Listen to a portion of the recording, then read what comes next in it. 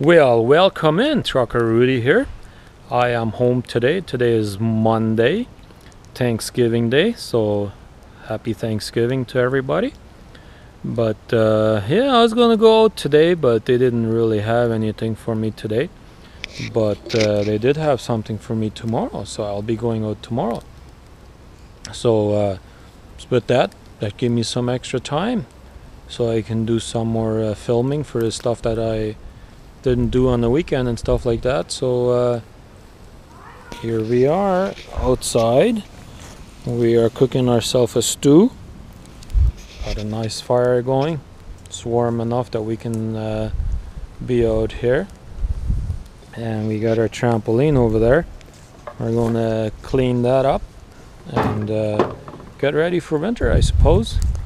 So, uh, anyways, We'll be back a little bit later. All right, we got that about halfway taken apart, or pretty much taken apart. We'll clean her up. Now at least that's out of the way.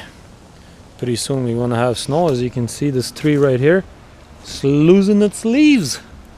It's always a beautiful color, but uh, that's just a sign that it's gonna get cold. Just put in the rice. I am just about done probably another 15 20 minutes and I should be ready to go have me a nice meal. Already I am ready to announce that my food is ready.